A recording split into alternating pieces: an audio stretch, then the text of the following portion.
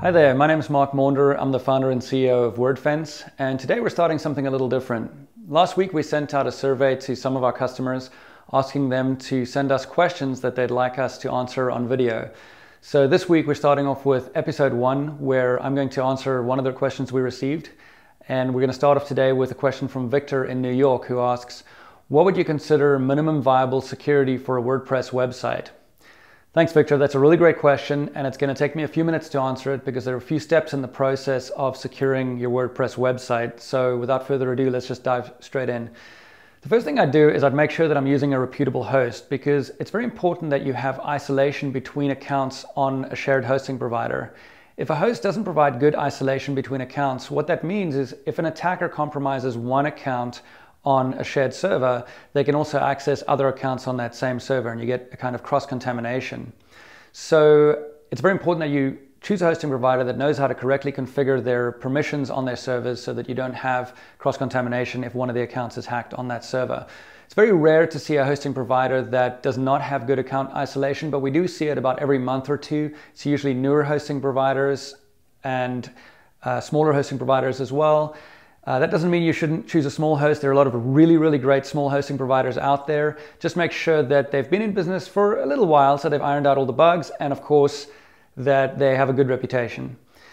The next thing one needs to do is, of course, install WordPress core. And you always want to choose the newest version of WordPress core when you're installing WordPress because the older versions have no, known vulnerabilities. And if you install an older version, it'll almost certainly get hacked because attackers will exploit those vulnerabilities. So always install the newest version of core available at wordpress.org, of course. Then you need to install your plugins and your themes. Uh, you'll usually just have one theme and you'll have multiple plugins, let's say five plugins. Always get those plugins and that theme from uh, a reputable source. Uh, get them from wordpress.org or get your, uh, your plugins and your themes from a good, a reputable commercial provider because there's something called a nulled plugin or a nulled theme. And what that is, is uh, an attacker downloads a plugin, a reputable plugin, and they put their own malicious code in it, and then they throw it up on their own website, which looks like a legitimate site, but actually it's not. And when you download the plugin from there, you're getting code that's already been hacked, and your system is then compromised, and you've got a real mess on your hands. So make sure you get your plugins and your themes from a reputable source.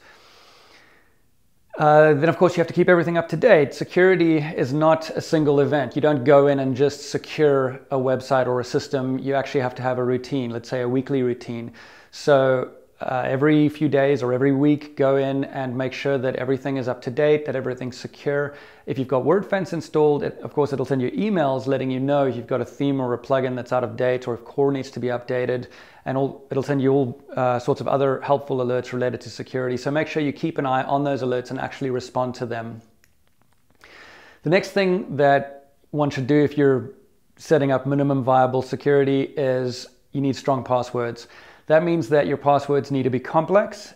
And if you're setting up an administrator account on WordPress, we recommend that you have a password length of at least 12 characters and that you choose from lowercase letters, uppercase letters, numbers, and symbols. That way you'll have a password that's complex enough so it's very difficult for an attacker to crack your password if they happen to download uh, the hash of your password.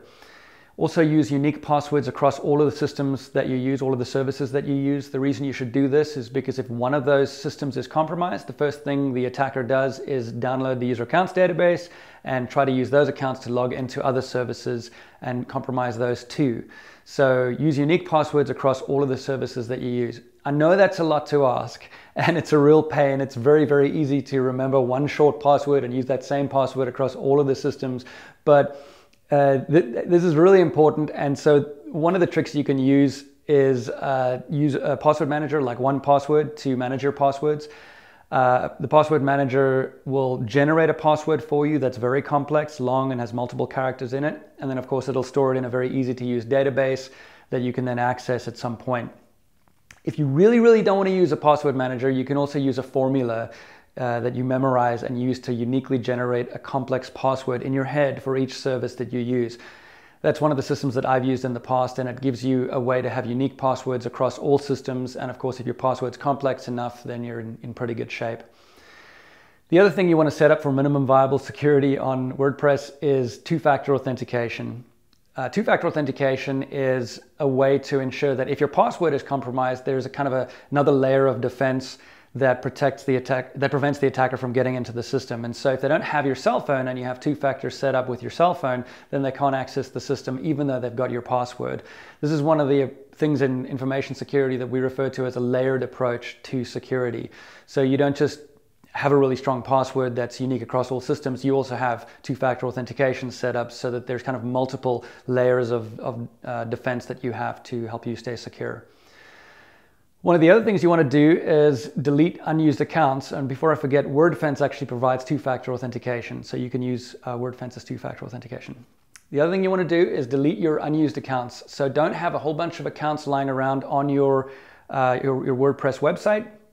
Only have the accounts that you're actually going to use. Uh, so only administrator accounts that you're actually going to use and the other, all the other accounts should be used if you have old accounts on the system that aren't used anymore, make sure you delete them or disable them.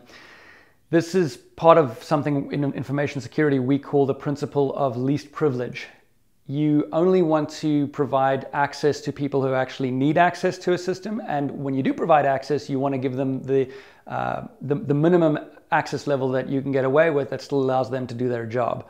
So don't, for example, create a bunch of administrator accounts for people who are just contributing content to your website. Instead, create a lower privileged account so that they've only got the access that they need. That way you don't have all these other administrator accounts that you then need to secure. So again, that's called the principle of least privilege, and it's a really effective strategy that's used within information security outside of the WordPress space.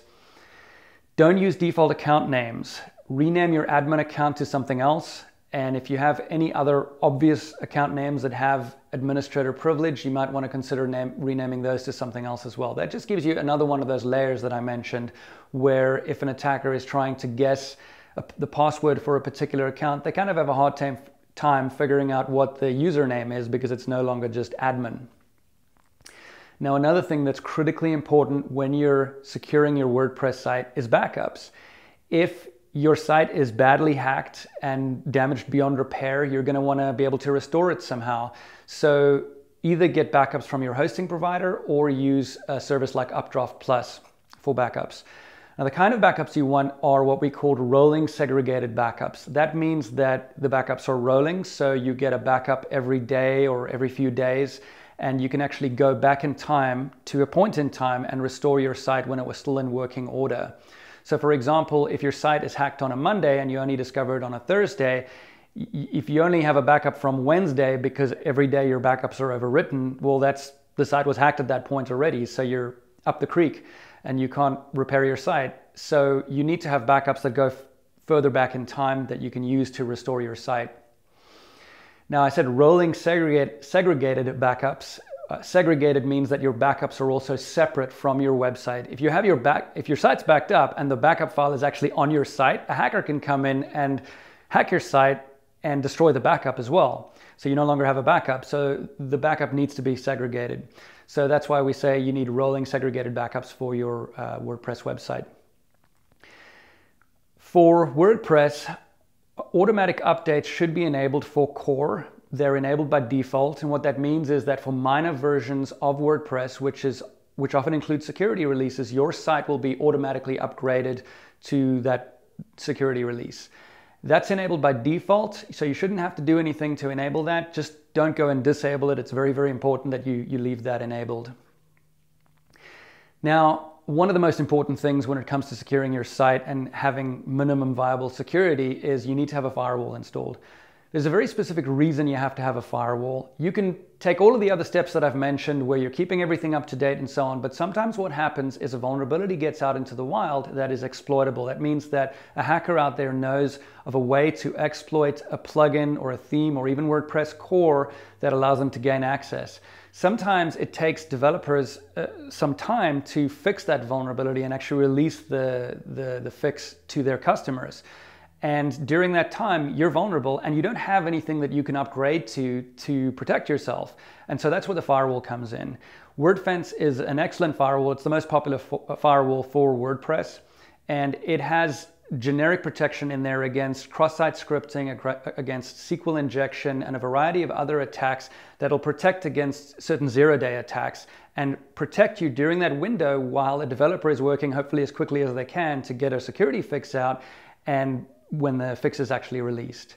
So it's critically important that you have a firewall installed. Of course, Wordfence Premium gets real-time updates. So as soon as we uh, hear about a new vulnerability or one gets reported to us or our re researchers discover one, we immediately release a firewall rule in real time and protect you uh, during that time that the, the, the developer is working very quickly to get that patch out there. The other thing you need, of course, is a malware scan. Uh, the malware scan is your last line of defense. If your site is somehow hacked, even though you've been keep, keeping everything up to date and it somehow manages to get past your firewall, the malware scan will detect that there's malware on your system or that something's gone wrong and will let you know. So you can come in and very, very quickly react and use one of those rolling segregated backups that I mentioned to restore your site and get back into uh, good shape. Well, that's about it. Uh, we have a really helpful checklist in our Learning Center that you can use, and it has many of the items that I've mentioned on there. I'll include that URL in the notes that go with the video.